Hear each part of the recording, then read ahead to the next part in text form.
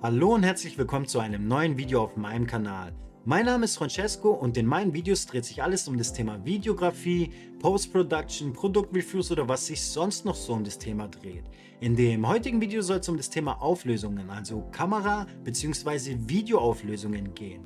Welche gibt es, welche ist derzeit der Standard und welche solltest du beim Film deiner Videos verwenden bzw. auch nicht verwenden? Antworten auf die Fragen und noch viele weitere nützliche Tipps rund um das Thema bekommst du nach dem Intro. Wenn dir das Video gefallen hat und du was Neues dazulernen konntest, dann würde ich mich sehr freuen, wenn du mir am Ende einen Daumen nach oben gibst und abonniere auf jeden Fall meinen Kanal, wenn du auch in Zukunft keine Videos mehr von mir verpassen möchtest. Und nun wünsche ich dir viel Spaß.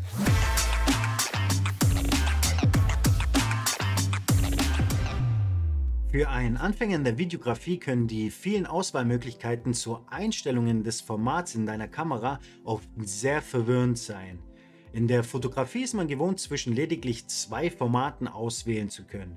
Einmal dem verlustbehafteten JPG und dann andererseits dem verlustfreien RAW. Zudem kannst du dort noch die Auflösung, also die Anzahl der Gesamtpixel mit einstellen. In der Videografie sieht das Ganze jedoch etwas anders aus. Hier hast du oft für jede Auflösung verschiedene Bezeichnungen. Nehmen wir mal das Beispiel Full HD. Hier gibt es Bezeichnungen wie FHD, HD 1080, Full HD, 2K, WUXGA oder auch UXGA. All diese Bezeichnungen beziehen sich dabei auf die gleiche Anzahl an Pixeln, nämlich ca. 2 Millionen Pixel. Unterscheiden tun sie sich dabei lediglich in ihrem Seitenverhältnis und das tut Anfänger oftmals sehr verwirren. In dem heutigen Video möchte ich mich allerdings auf die gängigen Formatbezeichnungen beschränken und um dir das Ganze zu veranschaulichen und dir etwas besser erklären zu können, habe ich ein Foto vorbereitet. Mit diesem Foto möchte ich dir den Aufbau eines Bildes in Bezug auf die Auflösung und deren Pixelanzahl aufzeigen. Die Anzahl der Pixel ist ein Maß für die Qualität eines Bildes. Je höher die Pixelanzahl ist, desto mehr Bildpunkte, also Bildinformationen sind enthalten. Dadurch ist das Bild schärfer und qualitativer. Diese Zahl bezieht sich dabei immer auf die Anzahl an vertikaler Pixel und diese auf die Anzahl der horizontalen. Wenn wir beide miteinander multiplizieren, kommen wir also auf die Gesamtanzahl der Pixel, die dieses Bild enthält. Fangen wir nun mal mit dem ersten Format an, nämlich 576 x 720 Pixel. Diese Auflösung nennt sich SD und steht dabei für Standard Definition. Sie ist die übliche Auflösung des Fernsehsignals, das ihr über Satellit oder auch Kabel empfangt, sofern die Sender noch nicht in HD ausstrahlen. Ebenso ist es die Standardauflösung für DVDs. Und nun kommen wir zu 720 x 1280 Pixel. Diese Auflösung ist ca. 1996 entstanden und nennt sich High Definition. Und circa 10 Jahre später kam dann auch der Nachfolger Full HD mit 1080 x 1920 Pixel raus. Und das ist mittlerweile so der Standard, wenn du Videos oder auch Filme auf Blu-rays anschaust. Und hier seht ihr nun UHD mit 2160 auf 3840 Pixel. UHD steht dabei für Ultra High Definition und ist dabei der neue Standard für Fernseh- und Streamingdienste zu werden. In Deutschland ist zurzeit ein 4K-Fernseher die höchste Auflösung, die euch als Endkunden zur Verfügung steht. Sie ist im Vergleich zu Full HD nochmal viermal größer, was natürlich nochmals einen deutlichen Anstieg der Qualität bedeutet. Wie oben erwähnt hat es auch hier wieder verschiedene Bezeichnungen wie Ultra HD, UHD oder auch 4K. Durchgesetzt hat sich dabei die Bezeichnung 4K, welche mit am gebräuchlichsten ist. Ja, und in welcher Qualität sollte denn nun meine Kamera filmen können? Bist du gerade dabei, dir eine neue Kamera zuzulegen und möchtest nun wissen, mit welcher Aufnahmequalität sollte sie filmen können? Dann rate ich dir ganz klar dazu, wenn du professionelle Aufnahmen machen möchtest, vielleicht sogar für Kunden, dann sollte sie auf jeden Fall in 4K filmen können.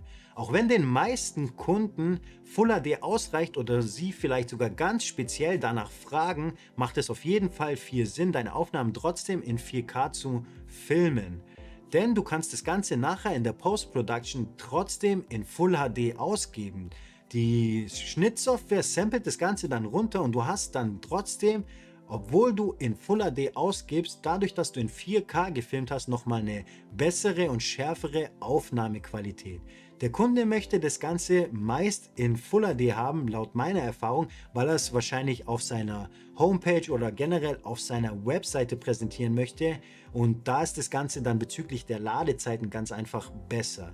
Aber wie gesagt, durch den Vorteil, dass wenn du in 4K gefilmt hast und das Ganze in Full HD ausgibst, hast du trotzdem dann eine schärfere Qualität, obwohl du in 1080 ausgibst. Aber nicht nur das, du hast ebenso riesige Vorteile in deiner Post-Production. Du kannst Kameraschwenks, Zoom-Ins oder auch Bildstabilisierung viel besser nutzen, weil du dazu in das Bild reinzoomen musst. Und hättest du nur in Full HD gefilmt, würdest du dann natürlich nochmal Qualität verlieren und dann wird dein Bild für professionelle Tätigkeiten ganz einfach doch etwas zu schlecht. Aber ebenso wichtig beim Kauf einer neuen Kamera ist die Aufnahmebildrate, in der die Kamera filmen kann.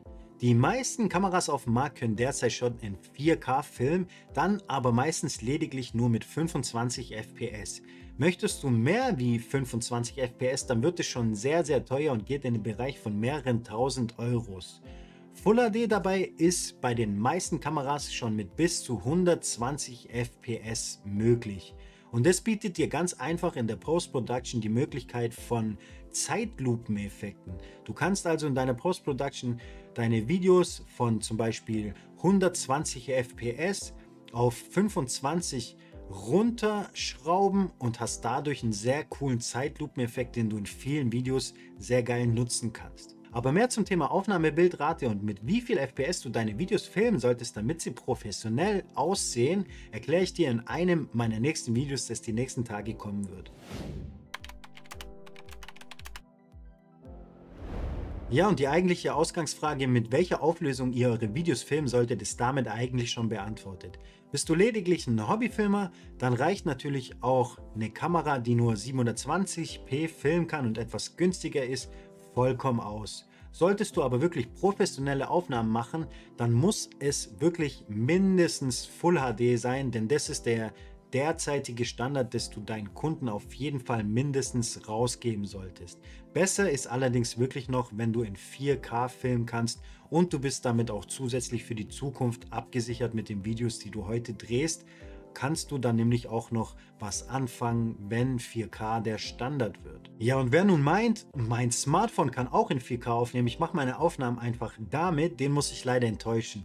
Aufgrund der Größe des Sensors und der höheren Kompression sind 4K-Aufnahmen vom Smartphone natürlich niemals so hochwertig wie die von einer DSLR oder DSLM-Kamera. Hier auf dem Foto seht ihr verschiedene große Sensoren. Und je größer der Sensor ausfällt, desto mehr Informationen kann die Kamera verarbeiten und ist so in der Lage, Videos mit einem besseren Dynamikumfang und einem geringeren Rauschen zu erzeugen. Ebenso besser schneidet dieser Sensor dann auch bei schlechteren Lichtverhältnissen ab. Aber mehr zum Thema Sensoren gibt es dann auch wieder in einem meiner Folgevideos.